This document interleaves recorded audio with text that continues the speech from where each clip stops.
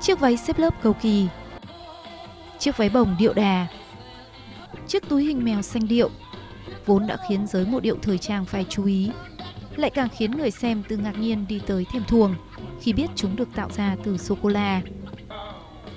Các nhà thiết kế cùng những nhà sản xuất sô-cô-la đã hợp tác để tạo ra 15 bộ trang phục bằng chất liệu ngọt ngào này. Trong đó có cả trang phục làm từ sô-cô-la trắng được chăm chút vô cùng tỉ mỉ đến từng cánh hoa.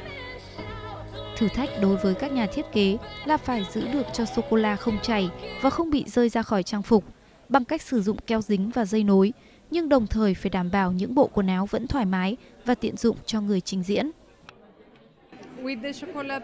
Cần quan sát cẩn thận, vải thiết kế khung cũng phải mang tính hữu cơ để sô-cô-la bám giữ được lâu hơn. Những người mẫu tham gia màn trình diễn độc đáo này là những người dẫn chương trình, các diễn viên, vũ công nổi tiếng của Pháp. Màn trình diễn ngọt ngào đã khiến các du khách đến với hội trợ đổ xô đến các gian hàng sô-cô-la. Hội trợ sẽ kéo dài tới ngày 1 tháng 11 tới.